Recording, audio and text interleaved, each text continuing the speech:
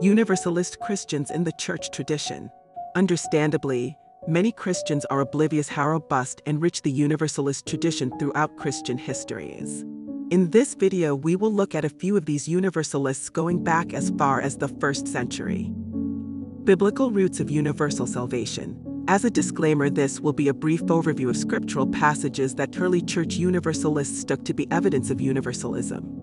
This is only to provide evidence for the assumption that first and foremost universalism was based in the Christian scriptures. Biblical roots.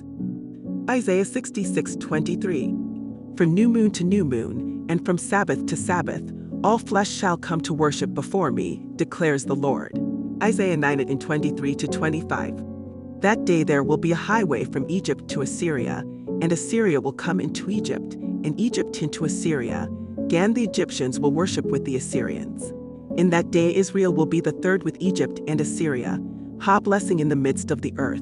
25 Whom the Lord of hosts has blessed, saying, Blessed be Egypt to me people, and Assyria work of my hands, and Israel my inheritance. Lamentations 3:22 to 23. 22 The steadfast love of the Lord never ceases. His mercies never come to an end. They are new every morning. Great is your faithfulness. Lamentations 3:31 to 33 For the Lord will not cast off forever, but though he cause grief, he will have compassion according to the abundance of his steadfast love. For he does not afflict from his heart or grieve the children of men. 1 John Twitwell he is the propitiation for our sins, and not for ours only, but also for the sins of the whole world. John 12 at 31 to 32. Now is the judgment of this world. Now will the ruler of this world be cast out. And I, when I am lifted up from the earth, will draw all people to myself. 1 Timothy 12 to 6. Who desires all people to be saved and to come to the knowledge of the truth.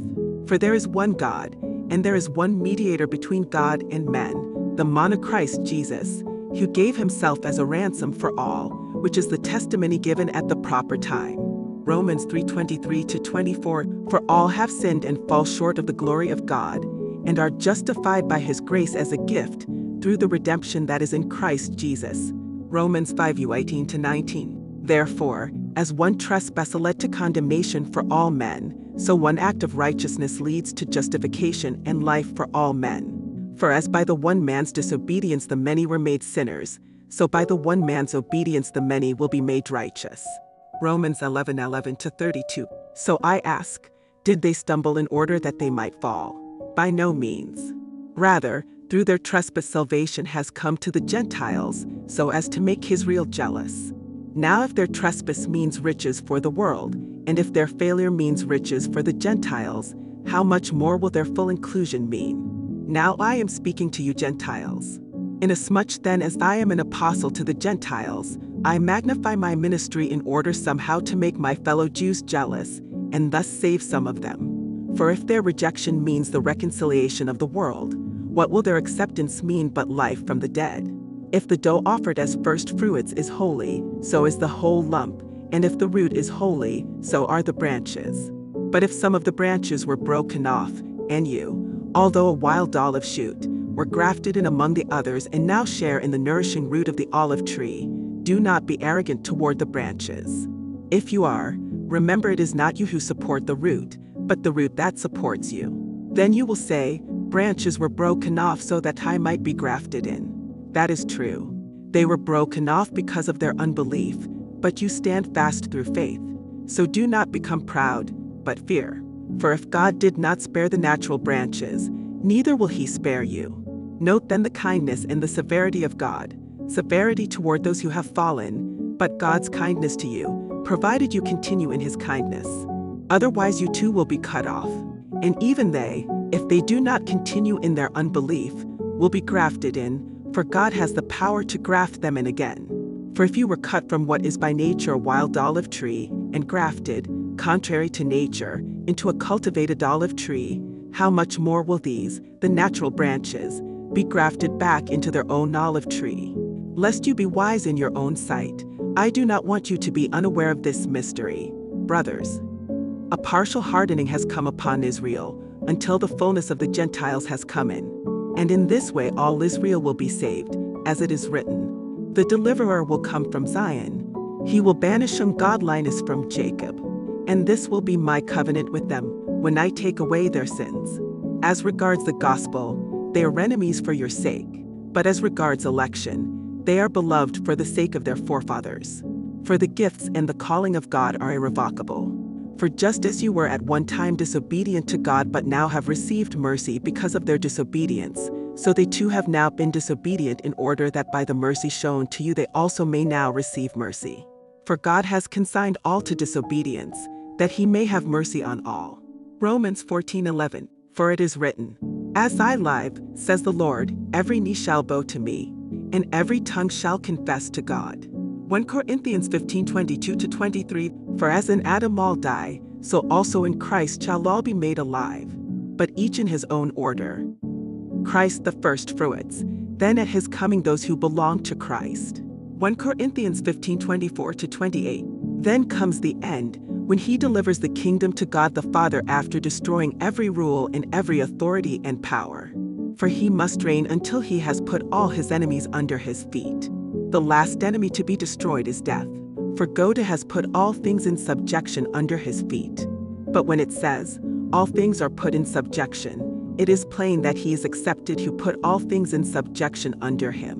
When all things are subjected to him, then the Son himself will also be subjected to him who put all things in subjection under him, that God may be all in all. 1 Timothy 4:10 For to this end we toil and strive, because we have our hope set on the living God, who is the Savior of all people, especially of those who believe. Hebrews 9:19 For when every commandment of the law had been declared by Moses to all the people, he took the blood of calves and goats, with water and scarlet wool and hyssop, and sprinkled both the book itself and all the people. Hebrews 12 But we see him who for a little while was made lower than the angels, namely Jesus, crowned with glory and honor because of the suffering of death so that by the grace of God he might taste death for everyone. Universalist Christians in the early church, Bardaisan of Edessa. Bardaisan was a Syriac Christian philosopher and theologian who lived from 154 to 222 AD. For, just as human free will is not governed by the necessity of the seven i.e., the planets, and, if it were governed, it would be able to stand against its governors, so this visible human being, in turn, is enabled to easily get rid of its principality's government, since he is a slave and a subject. For if we could do all, we would be all.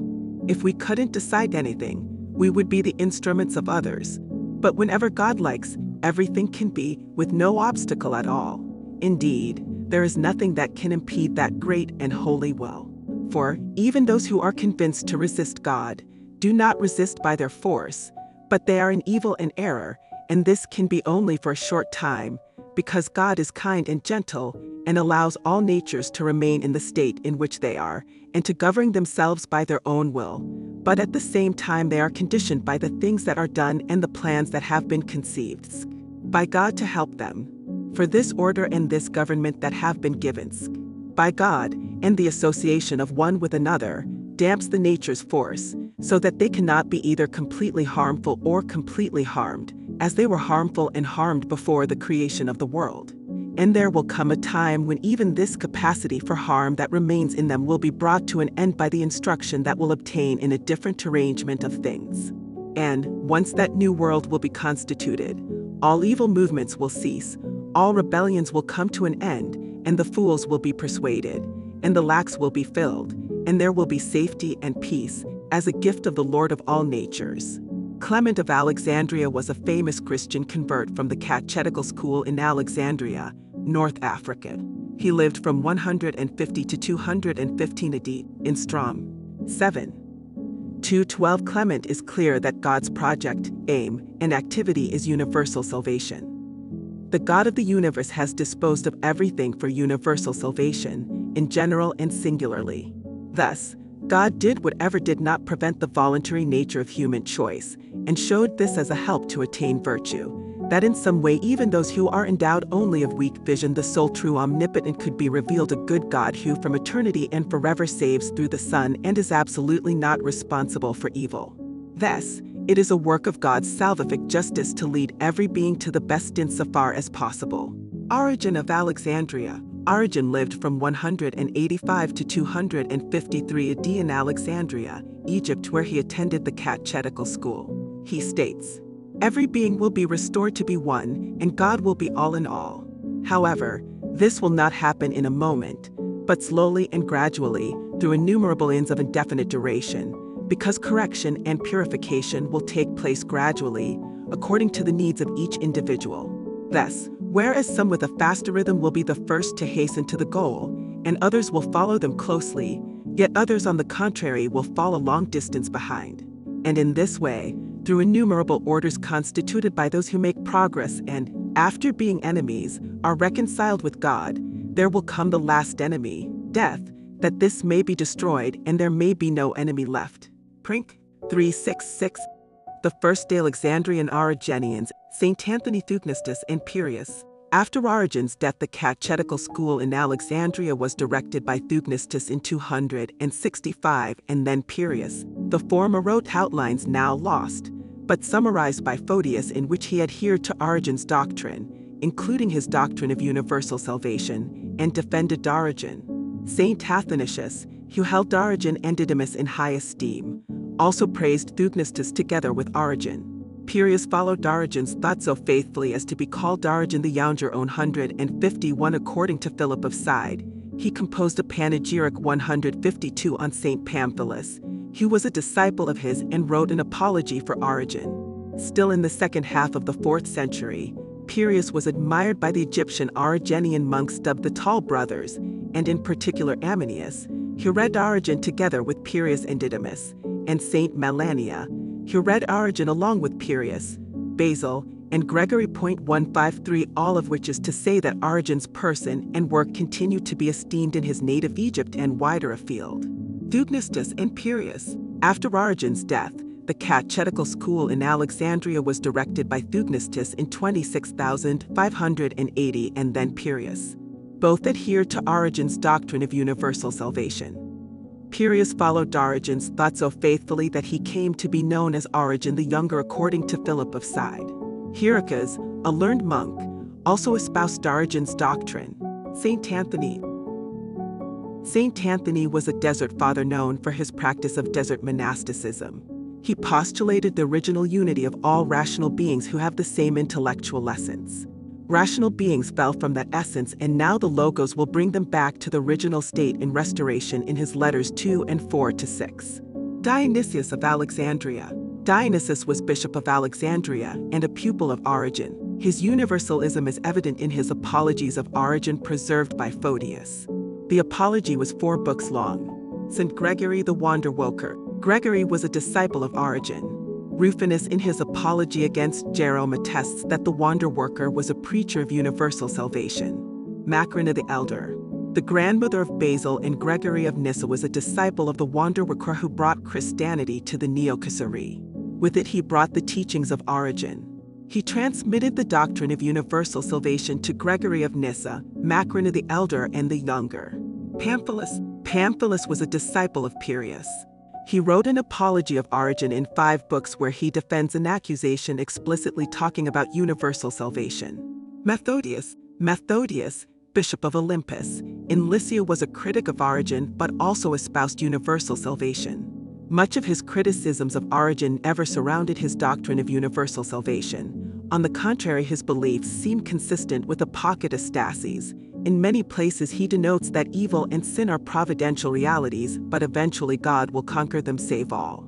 Eusebius was the bishop of Caesarea in Palestine and a court historian of the Emperor Constantine. Then God will be in all who will have been made perfect meanwhile by the Son. And the Son will hand the kingdom to God, presenting him all those with whom he had been entrusted safe and ready for the adoration and the sanctity of the Father. So God will be all in all representing all the goods for them. Didymus the Blind. Didymus was another celebrated leader of the catechetical school in Alexandria.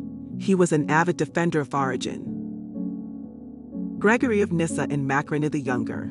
Gregory of Nyssa was also an avid adherent to Origen's teaching. In his dialogue on the soul and resurrection, Macrina is presented as arguing for universal salvation.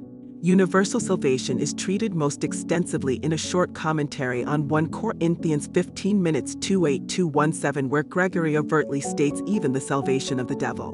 Gregory here describes universal salvation as the highest fulfillment of hope.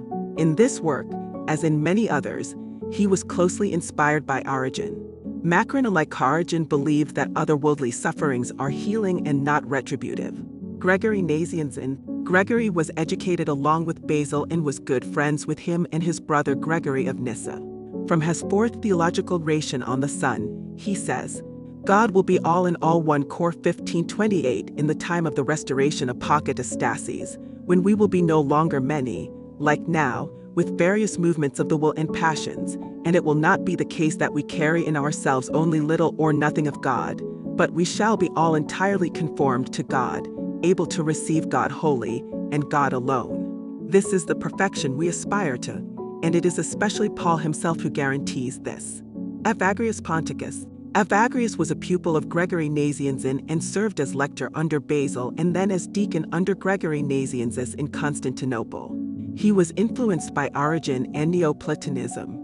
In his letter to Melania Evagrius states, And there will be a time when the body, the soul, and the intellect will cease to be separate, with their names and plurality, because the body and the soul will be elevated to the rank of intellect.